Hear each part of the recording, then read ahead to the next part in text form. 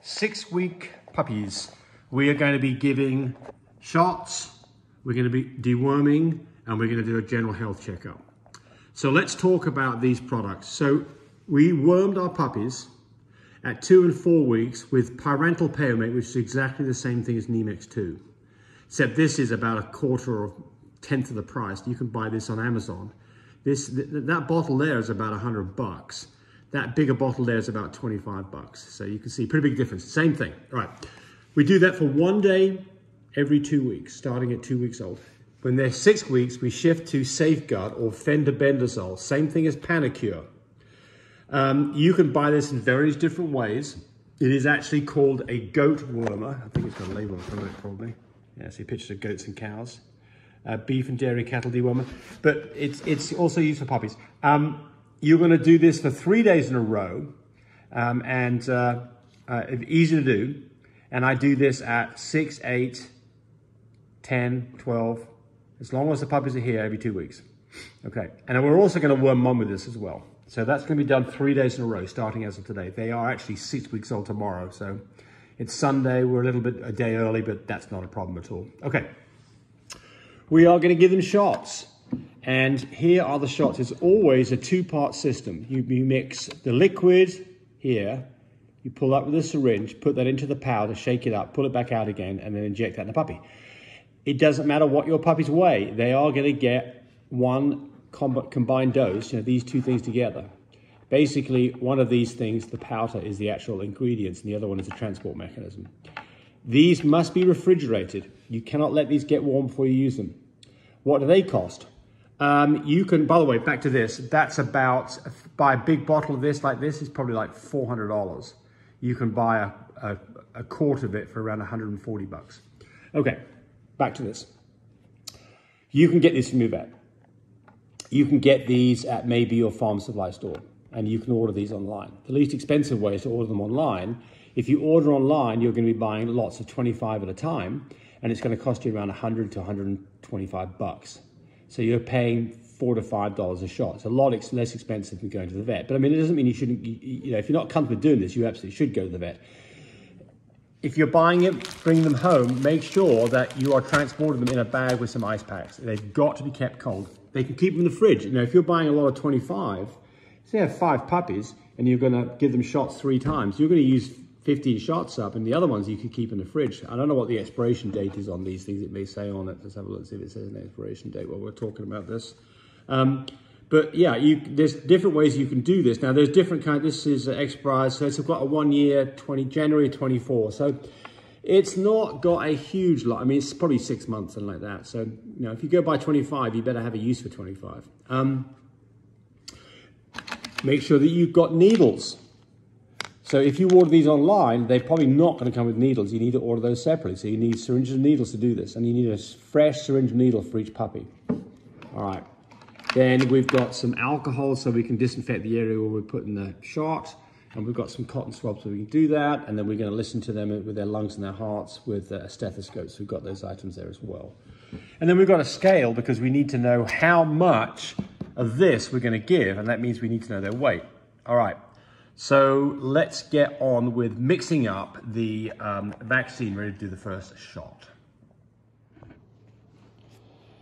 Okay, each shot is a two parts. You've got a powder and there is a liquid. You see the liquid moving there, all right? Got a fresh needle for everyone. All right, so what do we do? So we take the syringe out, but this is a, what is this? That is probably a I like to use a 22 gauge needle. That's probably what that, that might be an 18 gauge, maybe an 18 gauge fresh needle. Okay, so first thing you do is you take the liquid, pierce it in the top, uh, tip it upside down, and suck the liquid out into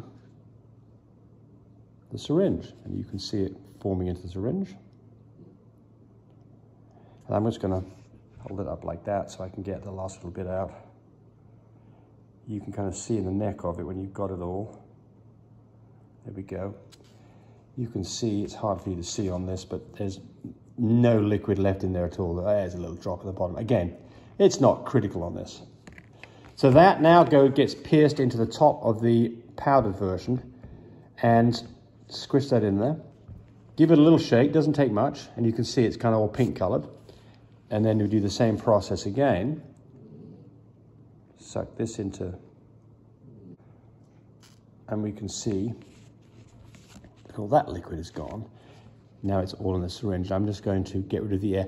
This is not like where you're putting this into a vein of a dog where any air in here could really cause a problem because it's just going to go what's called subcutaneous under the, uh, the skin. So a little bit of air in here just really doesn't matter, but there it is. Okay, so we're ready to go. And so what I'm going to do now is I'm going to get all of these prepped up. Uh, so we're ready to give our shots. So we've got all four shots ready to go. We've got four shots. puppies. So if you already saw me load up these shots, they're ready to go.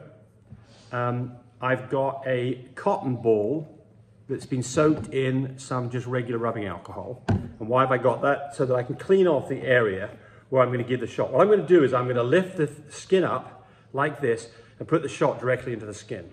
So I want to just generally clean off that area just to make sure that we're not going to push any dirt in.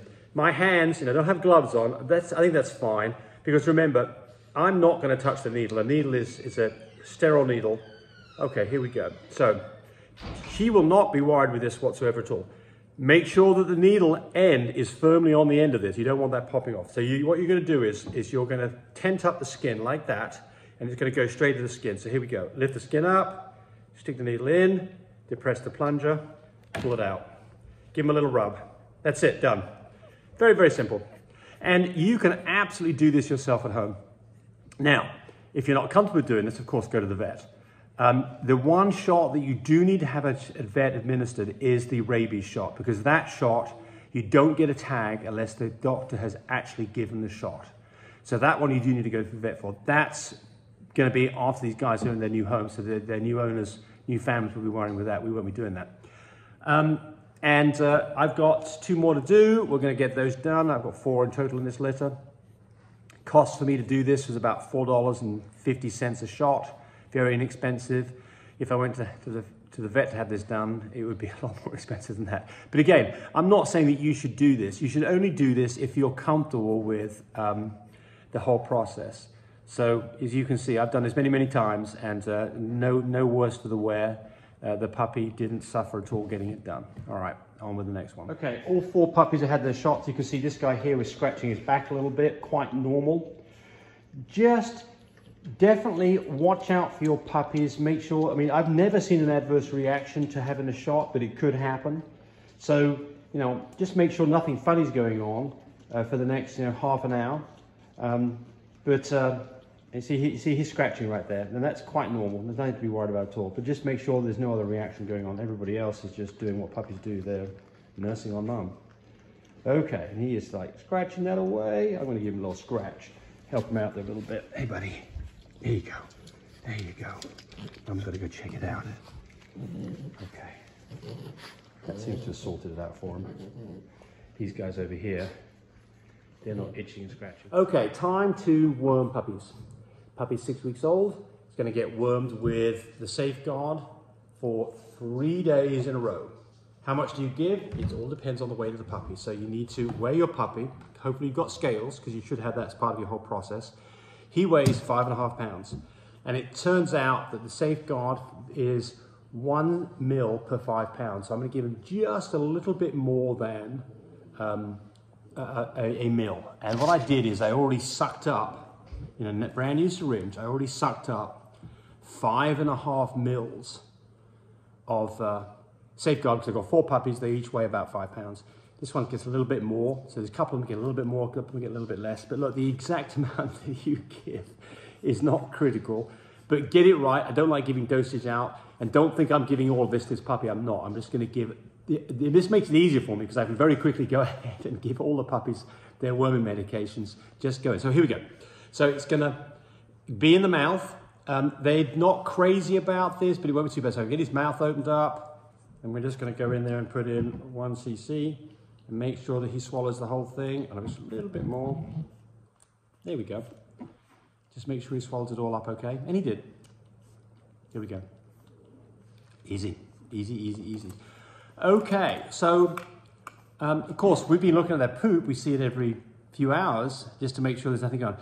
Their puppies have got generally got pretty good poop at this point. It's nice little hard turds. There was a little bit of liquidy going on. This probably sorted that out. So anyway, um, now if you've got diarrhea and other things, then it's time to find out what the heck's going on and maybe a vet visit. But these puppies are all doing absolutely fine.